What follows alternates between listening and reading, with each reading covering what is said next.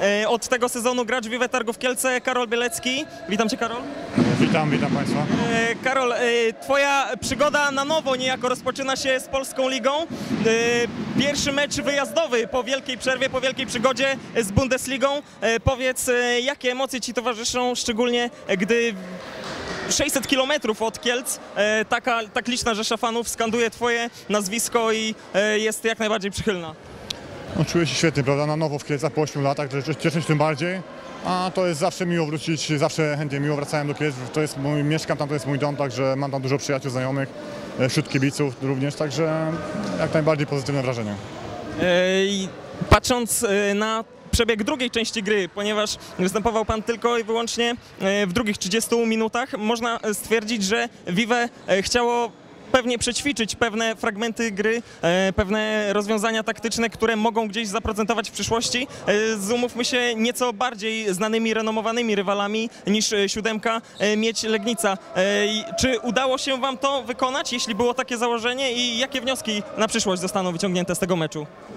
Graliśmy schematy, które mamy, prawda, wyćwiczone, te zawsze ćwiczyliśmy i musimy dalej to robić, żeby funkcjonowało to jak najlepiej, tak jak Pan mówi. Na dzisiaj druga połowa jak najbardziej, no właśnie my graliśmy te schematy mówię, no spokojna wygrana, raz to wychodziło, raz nie, przeważnie mieliśmy pozycje czyste, e, gorzej było może czasami z wykonaniem, e, z rzutem, ale gramy jesteś zadowoleni, gramy 10 bramkami bez e, najmniejszego problemu, także o to chodzi. E, To, że Vive Targi Kielce będzie walczyć o Mistrzostwo Polski, to jest e, tak jak powiedzieć, że śnieg jest e, biały. E, Każde inne e, rozstrzygnięcie na krajowym podwórku niż e, złoty medal będzie dla Was porażką i e, pewnie też dla całego zarządu klubu. Natomiast e, czego oczekujecie po tym sezonie w europejskich pucharach? Czego oczekujemy? No myślę, że jak najwyżej chcemy zajść, także ósemka, czwórka byłoby to spełnienie marzeń. Wygranie Lig- Ligi Mistrzów byłoby to naprawdę coś wspaniałego, ale mówię, no spokojnie, skupmy się na ósemce, jeżeli uda się wejść dalej, to będzie świetnie, także jak każdy sportowiec stawiam sobie, stawiam sobie cele najwyższe, a mówię, chcemy je realizować.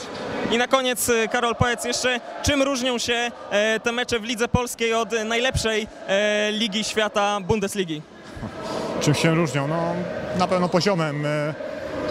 Bundeslidze ciężko szukać takich meczy, gdzie wygrywa się łatwo i przyjemnie 10 bramkami na wyjeździe tym bardziej. Każdy zespół walczy, każdy daje siebie wszystko.